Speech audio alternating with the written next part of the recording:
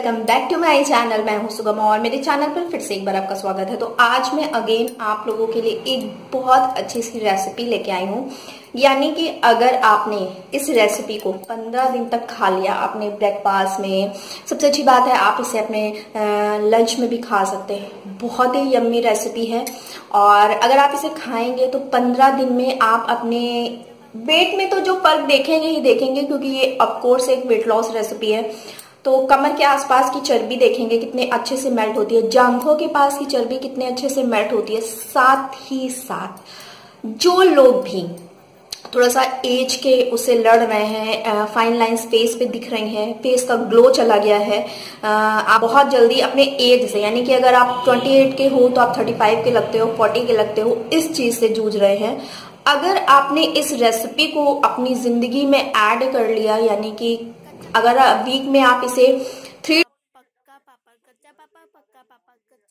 अगर three to four day आपने इसे ऐड कर लिया किसी भी टाइम एक टाइम तो आप सोच नहीं सकते कितना ज़्यादा मैजिक होने वाला है आपकी एज के साथ इवन आपकी वेट के साथ।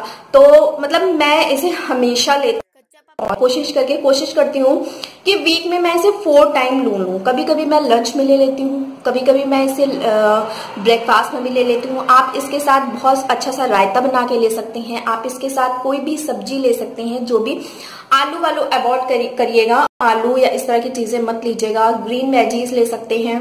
आप इसके साथ टमाटर की चटनी लगा सकते हैं। मतलब यम्मी से भी यम्मी रेसिपी है। लोगों का ये जो भ्रम है कि वेट लॉस की रेसिपी टेस्टी नहीं होती है तो एक बार उनको मेरे चैनल का लिंक ज़रूर भेजिए और तब आप उससे पूछिए कि वेट लॉस की जो डिश है वो यम्मी होती है कि नहीं होती है, और उनका जो वो मिथ है वो पूरी तरह से चेंज हो जाएगा कि यस वेट लॉस की डिशेज भी यम्मी होती है। तो टाइम को वेस्ट नहीं करते हैं और चले चलते हैं वीडियो की तरफ़। लेकिन फ़र्स्ट ऑफ़ ऑल जिन लोगों ने मेरे चैनल अभी तक सब्सक्राइब नहीं किया है प्लीज़ फ़र्स्ट ऑफ़ ऑल जल्दी जल्दी से सब्सक्राइब करिए। एक लाख सब्सक्राइबर हो जाए, बहुत धमासी पार्टी होने वाली है। और बगल का जो बेल आइकन है, उसे प्रेस करना ज़रूर भूलिए। और जिन भी अभी तक जिन, जहाँ जहाँ वोटिंग नहीं हुई है प्लीज़ करके वोट डालने जाइए। ये आपका अधिकार है। मैं कल वोट डाल के आई हूँ तो जल्दी जल्दी से वोट डालिए। तो चलिए चलते हैं वीडियो की तरफ़। तो फ्रेंड्स इस रेसिपी को बनाने के लिए आपको यहाँ पे four to five tablespoon बेसन चाहिए। अगर आप दो खाते हो तो आप क्वांटिटी बढ़ा दीजिए। अगर आप दो लोग हो तो यहाँ पे मैं ऐसे सिंगल ही खाने वाली हूँ तो मैं इसमें two tablespoon flaxseed डालूँगी, अलसी के बीज डालूँगी। ये नॉन रोस्टेड है, यानी भुने हुए ज़रूरी नहीं है अगर भुने हैं वो भी सही है। या फिर पाउडर अलग अलग आप बना के रख सकते हैं। देन इसके बाद आपको इसका एक पेस्ट रेडी करना है। बहुत ज़्यादा थिक नहीं, बहुत ज़्यादा रनी नहीं। मैं दिखाती हूँ कैसा आपको रेडी करना है। इसमें मैं लगभग जीरा पाउडर डालूँगी आप और मसाला ऐड कर सकते हैं टर्मरिक ऐड्स कर सकते हैं, मिर्च ऐड कर सकते हैं। मैं सेंधा नमक ऐड करूँगी। ध्यान रखिए आपको सेंधा नमक ही लेना है।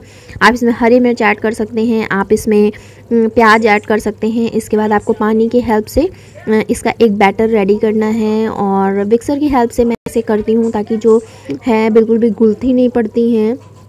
या फिर मतलब कि जो है वो बेसन अच्छे से घुल जाता है। मुझे इसी से ही इजी होता है। मैं कुछ भी जब बैटर रेडी करती हूँ, इसी से ही रेडी करती हूँ। मुझे अभी थोड़ा सा लग रहा है कि पानी और डालूँगी। टू टू टेबल स्पून में और डाल के। बस ये मेरा जो है वो रेडी है। आप देख सकते हैं ना बहुत रनी है, ना बहुत थिक है। तो ये जो बैटर है पूरी तरह से रेडी है और इसके बाद मैं पैन में या तो आप ऑलिव ऑयल से इसे ग्रीस करिए, या फिर आप इसे कोकोनट ऑयल से ग्रीस करिए, या फिर आप इसे घी से भी कर सकते हैं। मेरा आज ऑलिव ऑयल ख़त्म हो गया तो मैं इसमें घी ही डालने वाली हूँ। हाफ़ टेबल स्पून घी डालिए। पैन को अच्छे से पूरा उससे जो है कर दीजिए, ताकि उसके बाद फिर आपको क्या है कि जो जितना भी एक्स्ट्रा बचा हुआ घी है, उसे आप अलग निकाल दीजिए, और जो वो है बैटर है। इसमें अच्छे से डाल के पूरा फैला दीजिए। फैलाने के बाद आपको दोनों तरफ़ से इसे ढक के पकाना है। कि लो फ्लेम पे ही पकाना है। तो इस तरह से आप देख सकते हैं, रनी है, तभी ये पूरी तरह से फैल जाएगा, वरना वो एक जगह बैठ जाएगा और फैलेगा बिल्कुल भी नहीं। और ये पूरा पैन के बराबर मैं पूरा एक जो है रेडी कर सकती हूँ। बैटर आप देख सकते हैं, पूरी तरह से फिनिश हो चुका है। लो फ्लेम पे ही पकाइए, ढक के पकाइए, क्योंकि जो ऑयल है वो कम है तो ये भाप के ही द्वारा पकेगा, धीमी आँच पे आपको पकाना है इसे। तो यहाँ पे मैंने इसे ढक दिया है और ढक के मैं इसे दोनों तरफ़ पकाने वाली हूँ। तो ये देखिए, इस तरह से ये आपका बनेगा। आप और ब्राउन कर सकते हैं और ज़्यादा इसे आप जैसा कलर आप चाहते हो वैसा ले लो। फिर मैं दूसरी तरफ़ से इसे ढक करके पकाऊँगी। चिल्ला, वो रेडी है, मैं इसे आज बटर मिल्क के साथ लेने वाली हूँ। आप इसे किसी भी ग्रीन वेजी के साथ ले सकते हैं, टमाटर की चटनी के साथ ले सकते हैं।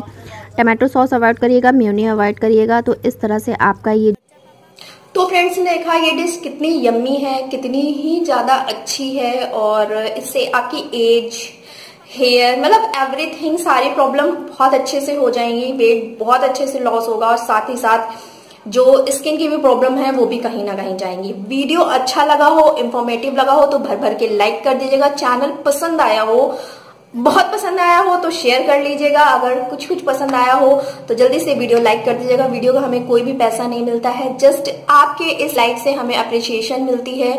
हमें एक मोटिवेशन मिलता है कि हम आगे वीडियो बनाएँ और लाइक से हमें ये भी पता चलता है कि किस तरह का कंटेंट आप प्रिफर करते हो। रेसिपी प्रिफर करते हो, आप ड्रिंक प्रिफर करते हो, आप डाइट प्लान प्रिफर करते हो, आप एक्सरसाइज प्रिफर करते हो, इस चीज़ से हमें ये पता चलता है।